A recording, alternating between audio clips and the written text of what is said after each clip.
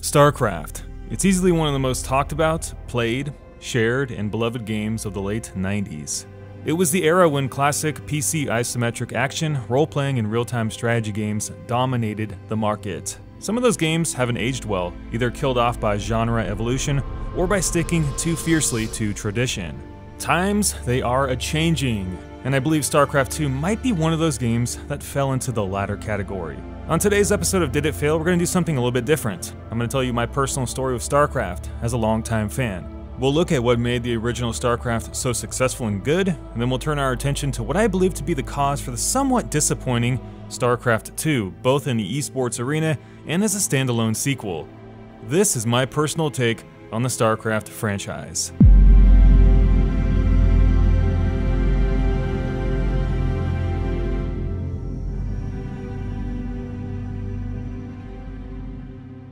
What the hell happened to StarCraft? Yeah, StarCraft from 1998. You ask any serious strategy gamer or veteran gamer out there during that time what was StarCraft, they definitely knew what that game was. In fact, you know what? This game was probably the best strategy game to be released up until this point, only to be surmounted by probably Warcraft 3 a few years later. The PC strategy game market was super hyper competitive during this time with StarCraft. You got Warcraft, you got the Command and Conquer franchise, you got so many other games jumping into that pool as well. But I think StarCraft stood above the rest. StarCraft was developed by Blizzard, one of the most iconic video game makers today and in the past. They have made some incredible games, but StarCraft was definitely at the helm for such a long time. But ask the question what the hell has happened to this once iconic franchise? You gotta remember, back in the 90s and the early 2000s, gaming was such a different place. We were playing basically on dial up modems for God's sakes. We had ass end PC connections, but the games themselves were a very special breed. These games back then, including StarCraft, including Warcraft, most of the Blizzard games, including Diablo as well, they were some of the most amazing experiences because they were so unique. Every single Blizzard game has really special elements about it, but StarCraft was in a league of its own during the time. It had an amazing single player campaign with full motion graphic cutscenes, it had fantastic writing, a lot of exposition. Then you throw on top of Battle.net and the multiplayer, but then you throw on top once again the use map settings maps. There was just a ton of stuff to do in StarCraft. I fondly remember playing with some of my friends basically into the wee hours of the night, playing 3v3 Big Game Hunter. Yep, I said it 3v3 BGH all night long. BGH was probably the most iconic custom game mode in StarCraft for Battle.net because it was simply amazing. For you scrubs out there who don't remember, basically you start off with unlimited resources and a ton of SCVs. There's no rush 20 usually, if people agree to it, and you basically build up an entire army, unit capped to 200 over 200, and then it's basically all out war. You got the Zerg, you got the Protoss, you got the Terrans, just fighting out in these gigantic battles. And the endless possibilities of these battles made sure that repetition was never an issue. You might go all out air with your team and do like a arbiter, carrier, battle cruiser composition or something like that. Super deadly, especially if the enemy team doesn't have defenses. Or you might just go super defensive like tanks and then get some dragoons to back you up and then have some psionic storms in the back as well. There was just endless possibilities. Super fun game mode and representative of a giant feature in the game which was use map settings. Use Map Settings was a mode where players could make their own game modes, such as RPGs, big game hunters, you could do kind of uh, storytelling, adventure modes. There's a ton of stuff available, and there was during the best years of StarCraft. But I think most people will remember StarCraft by its heavy competitive scene, driven of course by the Koreans. StarCraft was a huge game overseas, and it basically spawned a job type in Korea where players could actually be professional StarCraft players and actually make a living doing it. The scene was so big that it transcended some of the biggest games on the planet at the time, and the StarCraft esports numbers were nothing to sniff at. This game was incredibly popular both in Korea and in the domestic markets. StarCraft was one of the most watched esports games on the planet, and it never died down because of how serious the loyal veteran StarCraft players were about the game. People love this game for its complexity, for its depth, for its absolute perfect balance, some would argue, between the three races of the game. The thing I love about StarCraft and what I love about watching the original StarCraft is that anybody could beat anybody. Yes, there were some imbalances here or there, but they were basically things that players accepted and kind of look fondly back on right now.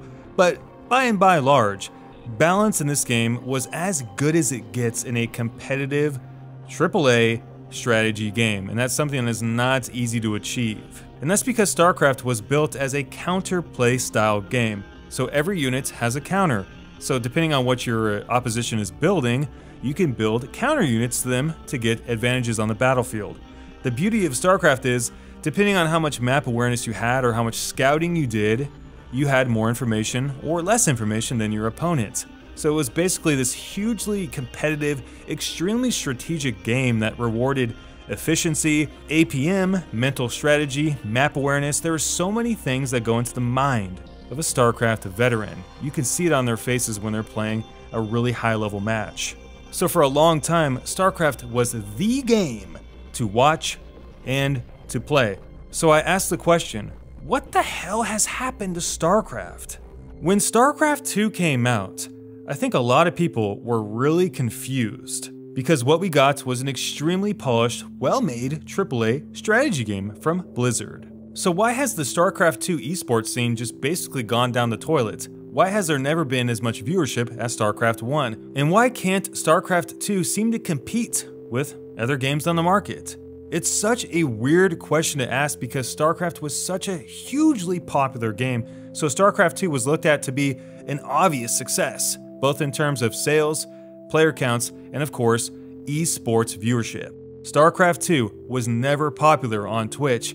Why is this the case? And it's so ironic because Blizzard tried so hard to push the StarCraft 2 esports scene early on and for such a long period of time. They put in so much money, they televised so many broadcasts, they had so many sponsors, they paid so much money out in prize pools. Why did this game just not succeed? Not only is StarCraft 2 basically not even relevant anymore in the esports scene, or at least not as relevant as it should be based off the success of StarCraft 1, but it's also really not talked about in the gaming world at all. I don't see that many people out there talking about StarCraft 2. I don't see the excitement for this game. Period. The StarCraft 2 Reddit is not exactly popular. Their forums don't exactly have a lot of activity compared to some of the other big games out there. So what the hell has happened? As a StarCraft veteran, I think it's important to look at basically the journey of StarCraft and StarCraft 2 from the eyes of both the competitive scene and from the average gamer, because it's two different perspectives. The competitive side and the lack of esports success has an easier explanation, I think, because it's basically the fact that StarCraft veterans would prefer to play StarCraft 1. It's that simple. Most StarCraft veterans have been put on record saying that StarCraft 1 was basically as good as it got that the game was so balanced and fair for the competitive scene that there was no reason to move on to another game. So StarCraft Pro players out there, even when StarCraft 2 came out, were playing StarCraft 1, and that is the fundamental reason that the StarCraft remastered version was created. Blizzard knew that Korean StarCraft Pro players didn't want to move on to StarCraft 2, that they would rather play StarCraft 1, so they made the remastered version so it could be better played in Korea. Many of those players that did switch over to StarCraft 2 said that the only reason they did so was because playing StarCraft 2 made them more money competitively. So, what I'm trying to say is that StarCraft 2 really never took off in Korea, which is the biggest market for StarCraft revenue, income, and players in the entire world.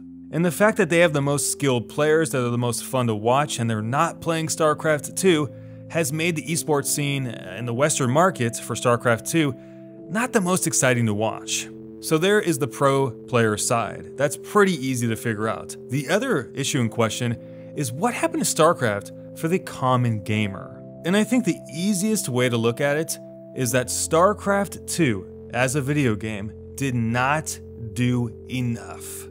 I know that StarCraft 2 is an incredibly polished and fun AAA strategy game, but you have to think about what the sequel did in terms of innovating new concepts in the strategy market. For every single person out there that was not a professional player that did play StarCraft 1, what did they want from StarCraft 2? They probably wanted a mixture of familiarity and new concepts and new mechanics. But unfortunately, let's just be honest here StarCraft 2 didn't really do anything new.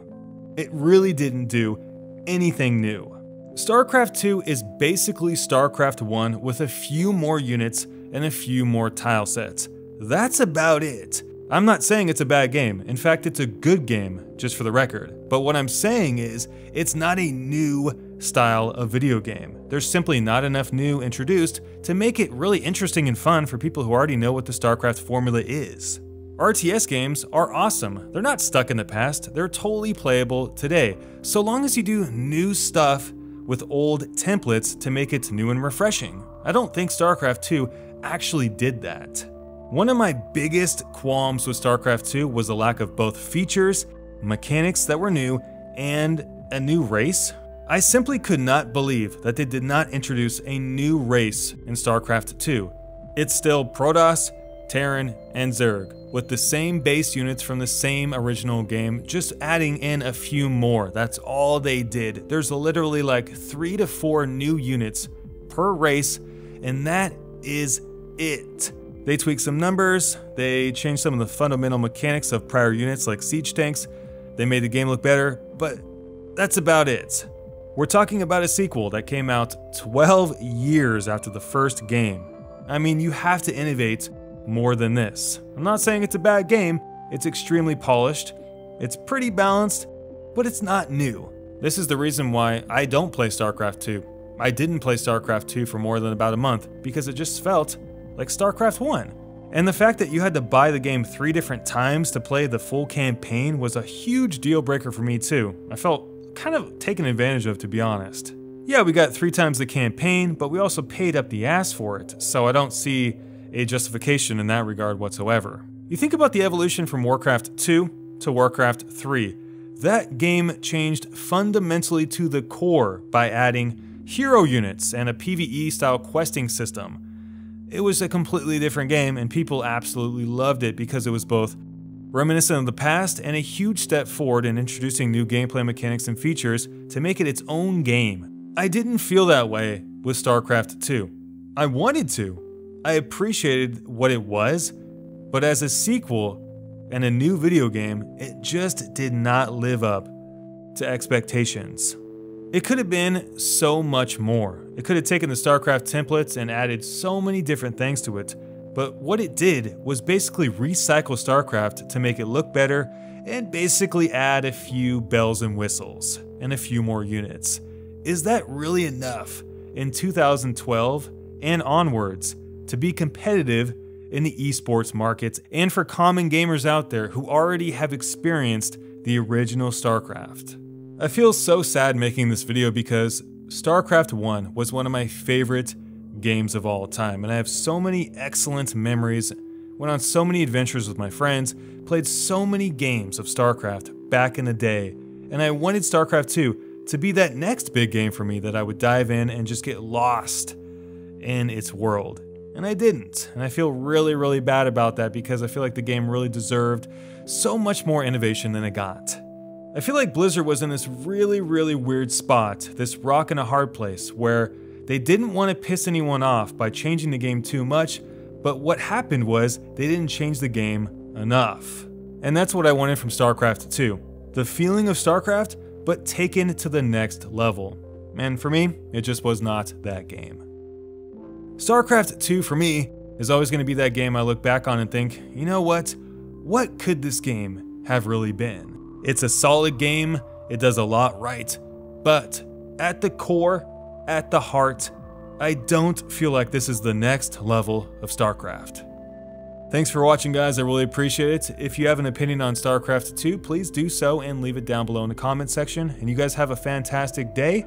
Peace, love, and happiness out there. Until then, you guys take care.